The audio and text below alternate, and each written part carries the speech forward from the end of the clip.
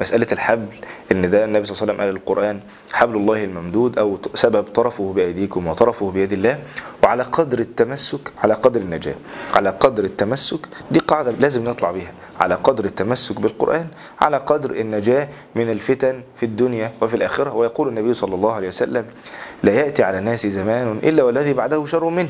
يبقى إذن كل ما الأيام بتعدي كل ما الظلمات بتزداد يبقى إذن بمعادلة رياضية إذا ينبغي علينا كل ما الأيام بتعدي كل ما التمسك يزداد. بما إن الظلمات بتزداد وإن التمسك هو بالقرآن بيدينا نور إذا لازم لازم نتمسك أك- أكتر بالقرآن.